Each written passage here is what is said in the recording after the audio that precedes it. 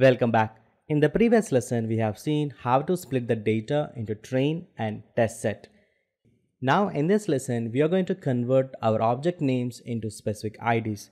The reason why we need to convert these object names into the IDs is because in any machine learning or deep learning models, even the YOLO is also a deep learning model, we cannot train a text. So training the text is not possible in any model.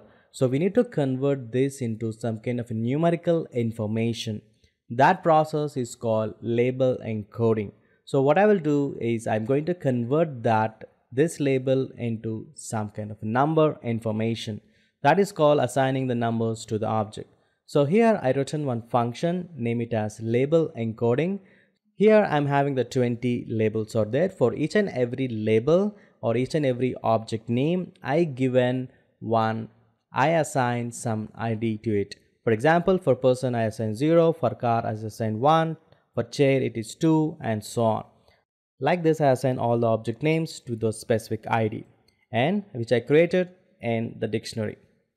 Finally what we will do is that I'm going to return the ID of that particular object name. So that's what we're going to do here.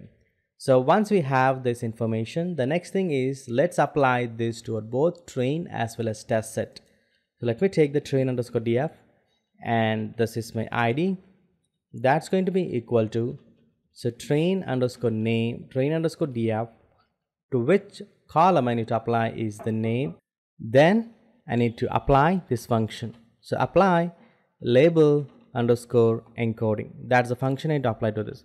Similarly, let's also apply to our test df. So test df of id equal to test df of name and we are going to apply the label encoding. Now let's execute this. Oh, this is my test df. Execute it. Alright, now we have successfully did that. Let's look into our sample data of head of 10. Alright, here you go. You can see that this is what the file name and in this file name we have the name that is the horse and the ID is 9 and similarly the person this is 0 okay so we have successfully assigned some labels to it. So in going forward we are going to use this id for the training process. This is how we can assign numbers to the object name. In the next lesson we will save our images and also save our label information and text document. Let's see on that. Until then happy learning